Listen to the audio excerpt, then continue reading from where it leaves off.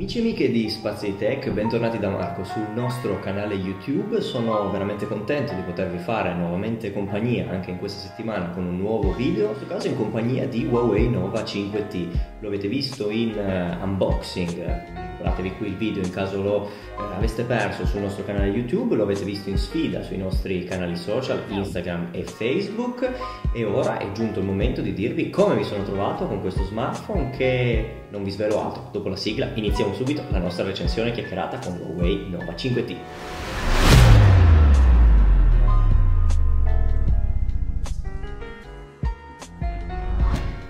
Eccoci quindi qui davanti alla videocamera con Huawei Nova 5T. Eh, è uno smartphone con il quale ho passato praticamente una decina di giorni insieme che esteticamente è veramente molto carino.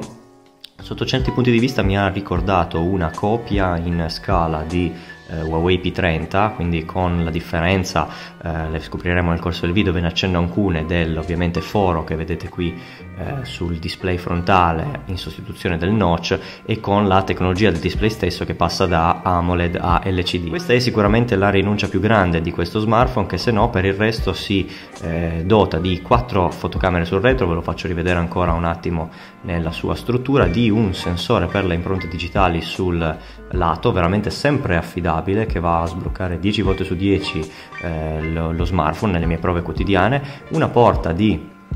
eh, tipo C sul fondo, un speaker solo, quindi non è eh, stereo questo smartphone, una costruzione assolutamente impeccabile ed eccellente. Io l'ho utilizzato questa settimana senza alcun tipo di protezione di coverina, seppur presente all'interno della scatola e non ho avuto assolutamente nessun tipo di problema o, o altro. Parlando proprio di utilizzo vi inizio a dire un paio di indicazioni, ovvero oltre al fatto che questo smartphone ha un display eh, LCD in risoluzione Full HD, trovate poi tutti i dettagli della scheda tecnica sull'articolo e sulla recensione testuale sul blog, link qua sotto, ehm, alcuni dettagli. Allora, oltre al lo sblocco tramite impronta digitale vi faccio vedere come sia uno degli smartphone migliori dotato di tecnologia Raise to Wake, ovvero il sollevamento per il risveglio. In questo caso poi mi posso far vedere anche dal, dallo smartphone, mi sono spostato un attimo ed ecco qui che si sblocca, quindi sia con riconoscimento 2D del volto sia con eh, il sensore biometrico delle impronte. È cliccabile quindi vi faccio sentire, c'è la possibilità di attivare determinate funzioni al, al, tocco, in questo caso ho attivato la sequenza di emergenza, vado a inserire il pin per sbloccarlo, però diciamo che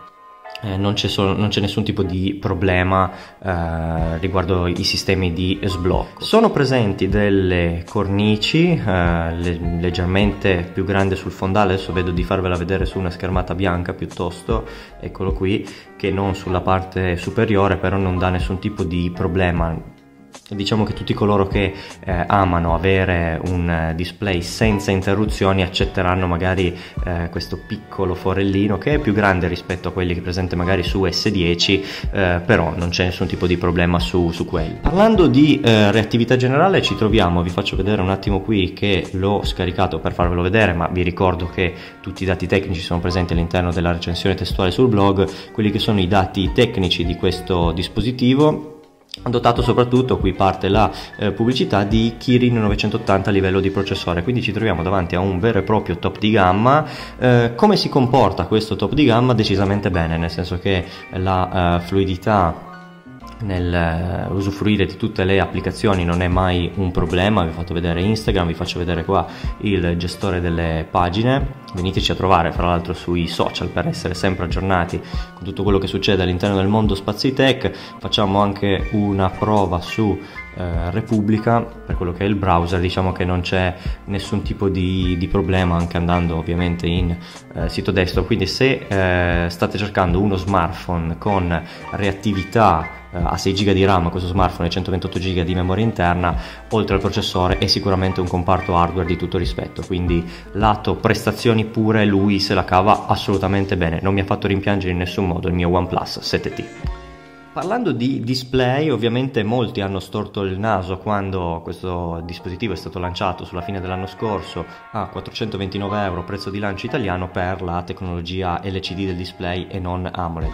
Effettivamente eh, sono arrivato al punto di considerarlo un eh, difetto eh, a determinate cifre, a determinati prezzi, come quello di lancio di questo eh, Nova 5T, però di base non è che ci troviamo davanti a un brutto pannello, insomma andare a visualizzare sia le foto scattate, ma ne parleremo dopo nell'area dedicata della recensione, sia vedere delle foto che scaricate non c'è nessun tipo di problema. Se si è abituati ad un AMOLED però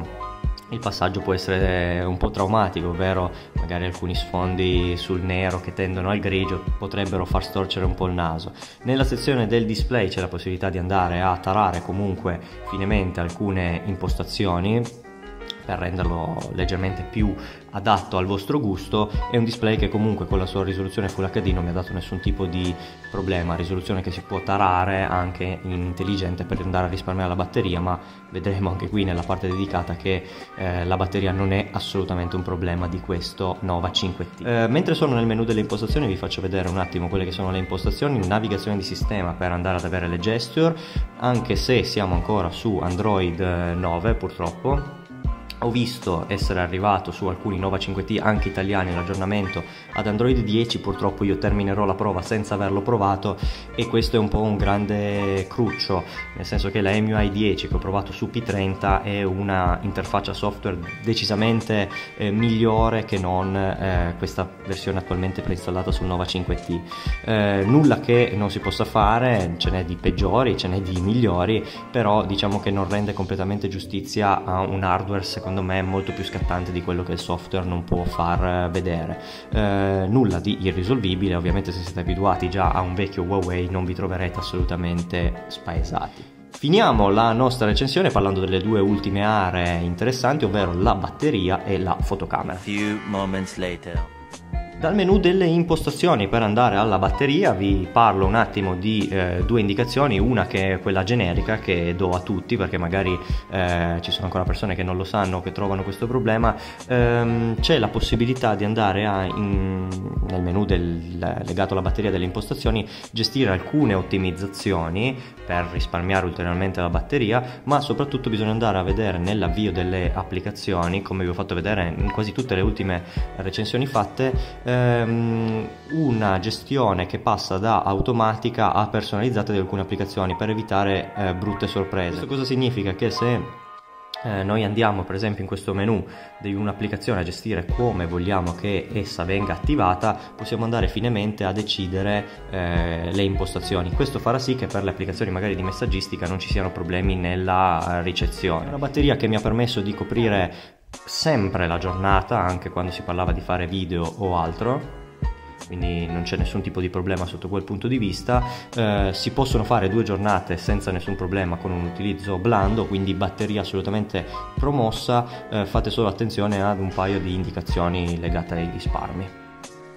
Per l'ultima parte di questa recensione, prima di, eh, delle mie conclusioni, delle mie considerazioni finali, vi faccio vedere un attimo quella che è l'interfaccia fotografica, eh, altra area dove purtroppo il fatto di non avere ancora la MUI 10 si fa sentire, perché vi faccio vedere intanto qua potete fermare poi il video, tutte quelle che sono le eh, varie impostazioni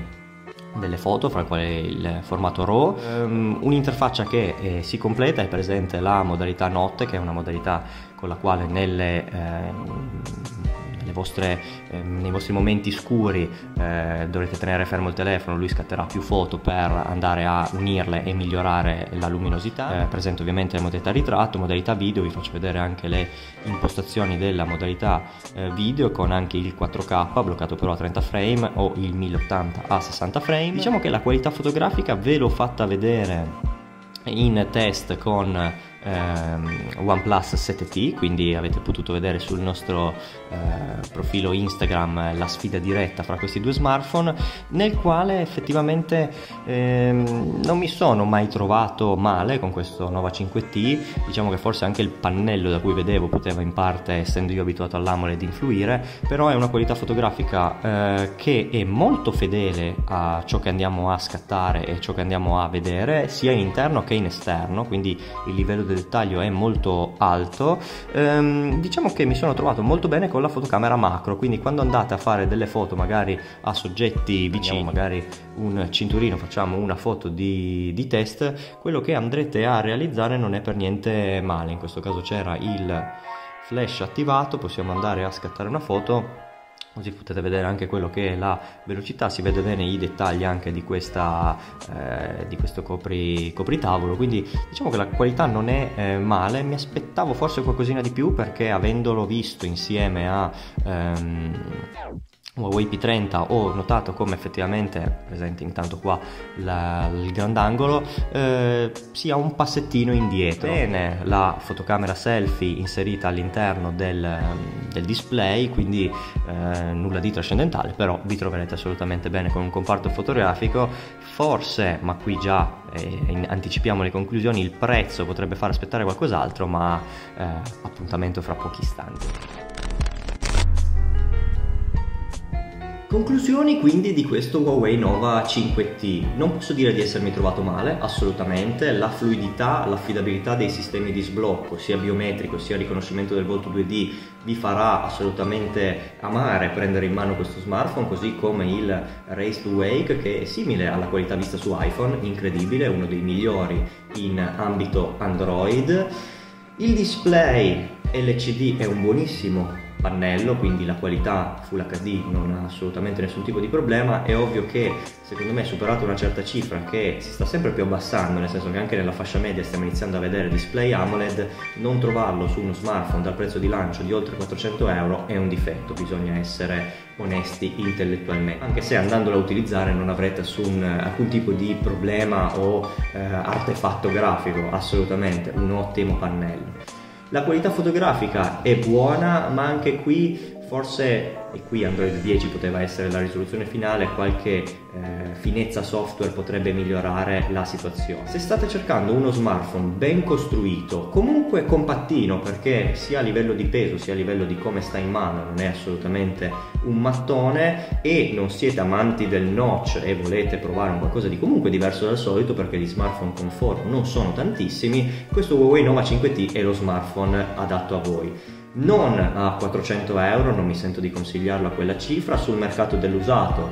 eh, dove l'ho preso io, ma dove magari ne potete trovare tanti altri, sui 300 euro cambia comunque sostanza e cambia faccia. Spero con questa mia recensione, con questa mia chiacchierata di eh, potervi aiutare in caso foste interessati all'acquisto di questo smartphone iniziate pure a riempire quindi il box dei commenti qua sotto in caso voleste delle domande o ci fossero delle aree della recensione non chiara venite a trovare anche la recensione sul blog Spazio Tech con tutti i dettagli della scheda tecnica. Trovateci sui social in particolar modo su Telegram. Su Telegram mi trovate sul gruppo aperto di Spazio Tech dove potete farmi le domande anche sui prodotti che sto testando e anche sul gruppo dei malati di smartphone che saluto tanto calorosamente Arrivati quindi alla fine di questa recensione vi ringrazio, vi invito a mettere un bel mi piace iscrivervi al nostro canale YouTube e da Marco alla prossima recensione. Ciao, un saluto!